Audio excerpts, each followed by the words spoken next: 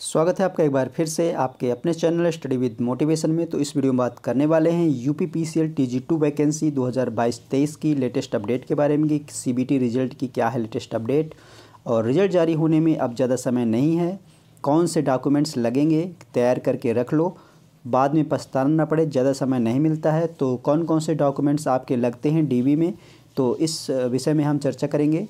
और आपका जो रिज़ल्ट है वो बहुत जल्द ही आने ही वाला है। मैंने पहले भी बताया था कि आपका जो रिज़ल्ट है वो मिड जनवरी के आसपास आ सकता है। पूरी उम्मीद है कि आपका जो रिज़ल्ट है वो मिड जनवरी के आसपास आ जाएगा।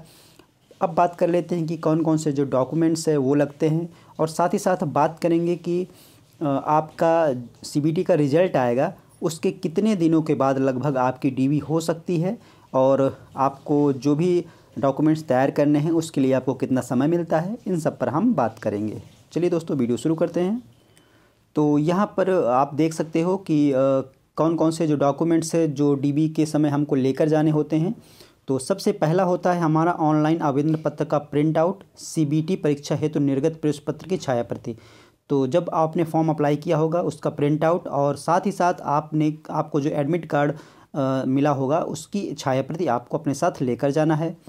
दूसरा आपका हाई स्कूल अंक पत्र एवं प्रमाण पत्र ये आपके लिए बहुत ही महत्वपूर्ण है। अगर आपके हाई स्कूल में कोई मिस्टेक है, आपके नाम में फादर्स नाम में डीओबी में, कुछ भी अगर मिस्टेक है तो आप अभी सही करा लीजिए। क्योंकि इसमें फिर अगर फिर अगर हाई स्कूल फिर इंटर में अगर अलग अलग थोड़ी सी भी स्पेलिंग में मिस्टेक है तो आपको जो है, आपके डॉक्यूमेंट्स डॉक्यू आपके जो डॉक्यूमेंट वेरिफिकेशन होगा, उसमें प्रॉब्लम हो सकती है। उसके बाद जो तीसरे नंबर की अगर बात कर लेते हैं तो आईटीआई ट्रेड अंक पत्र एवं प्रमाण पत्र जो आईटीआई आपने जो किया हुआ है, उसका अंक पत्र और साथ ही साथ प्रमाण पत्र उसके बाद आपका अद्यतन जाति प्रमाण पत्र अगर आप ओबीसी कैटेगरी के हैं, किसी भी आप कैटेगरी के हैं सी एस टी के हैं तो उसमें आपका जो है, जाति प्रमाण पत्र होना चाहिए। तो ये दोस्तों पुराना दिया हुआ है तो यहाँ पे जो डेट दी गई है, आप इसमें मेंशन हुआ, जब आपका सीबीटी का रिज़ल्ट आएगा तो वहाँ पे डेट मेंशन रहेगी। ये आपका पुराना है, इसलिए यहाँ पे डेट मेंशन हुई हुई है।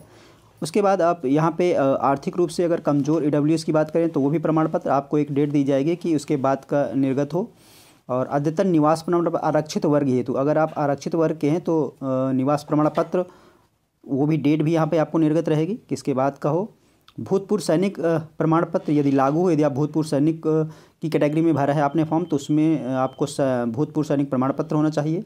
स्वतंत्रता संग्राम सेनानी आश्रित हैं तो उसके लिए प्रमाण पत्र होना चाहिए जिलाधिकारी के हस्ताक्षर से। और साथ ही साथ आपको दो पासपोर्ट साइज़ की फ़ोटो, दो पासपोर्ट साइज़ रंगीन फ़ोटोग्राफ जिस समय आप फॉर्म अप्लाई किए होंगे तो वो जो फ़ोटो होगी, वो उसको लेकर जाना होगा। उसके बाद अप्रेंटिस एक्ट 1961 के अंतर्गत अगर आपने अप्रेंटिस का लगाया हुआ है, आप फॉर्म अप्लाई करते समय अप्रेंटिस के लिए किया है तो उसका प्रमाण पत्र होना चाहिए। ऐसे अभ्यर्थी जिन्होंने अप्रेंटिस करने के उपरांत अधिकतम आयु सीमा में छूट व अन्य लाभ वांछित है, उनके लिए ये है। उसके बाद बात कर लेते हैं आधार कार्ड और विधिमान्य फ़ोटो युक्त तो आपका पहचान पत्र होना चाहिए। और अन्य कोई प्रमाण पत्र जो विज्ञापन के अनुसार आवश्यक हैं, वो लगेंगे आपके। तो यही आपका जो है डॉक्यूमेंट्स में लगने वाले हैं। अब आपका जो रिज़ल्ट है, वो आपका मिड जनवरी तक पूरी उम्मीद है कि आ जाएगा। और अब बात कर लेते हैं कितना समय लगता है आपका जब सीबीटी का रिज़ल्ट आ जाता है, और उसके बाद। ये दोस्तों पुराना है। पिछली बार जब वैकेंसी आई थी, उसका ये सी का रिज़ल्ट है मैं आपको दिखाता हूँ कितना टाइम मिला था उस समय अभ्यर्थियों को। तो यहाँ पर आप देख सकते हो कि 21 अगस्त को ये CBT का रिज़ल्ट जारी किया गया था। 21 अगस्त 2021 को CBT का रिज़ल्ट जारी हुआ था। और इसकी कितने दिनों के बाद डी स्टार्ट थी वो मैं आपको दिखाता हूँ। तो 21 अगस्त को आपका रिज़ल्ट आया था और 20 सितंबर से डी स्टार्ट थी। तो इसका मतलब यही है कि आपका जो है लगभग एक महीने के आसपास आपको समय मिल मिल, मिलता है इसके लिए। तो लगभग एक महीने का समय मिलने वाला है। तो जो भी आपके डॉक्यूमेंट्स बनने हैं वो बनवा लीजिए और जिनमें कोई अगर मिस्टेक है, कुछ भी है तो उसको आप सही करा लीजिए, क्योंकि अभी टाइम है, अभी आप करा सकते हैं। फिर उसके बाद रिज़ल्ट के बाद भी लगभग एक महीने का टाइम मिलता है, लेकिन फिर भी आपका जो भी डॉक्यूमेंट्स है तो आप अपना तैयार कर लीजिए। तो बस अब यही उम्मीद है कि आपका जो रिज़ल्ट है, वो जनवरी, मिड जनवरी तक लगभग आ ही जाए। तो आप लोगों का जो इंतज़ार है, वो जल्द ही समाप्त हो। तो ये कुछ जानकारी थी जो मुझे आप लोगों को सर शेयर करनी थी। तो वीडियो आपको कैसा लगा? अगर पसंद आया होगा तो लाइक कर लीजिएगा। अगर आप चैनल पर नए हो तो चैनल को सब्सक्राइब कर लीजिएगा, क्योंकि जो भी लेटेस्ट अपडेट होगी वो आपको इस चैनल के माध्यम से मिलती रहेगी। तो चलिए दोस्तों, फिर मिलते हैं आपसे नेक्स्ट वीडियो में। जय हिंद।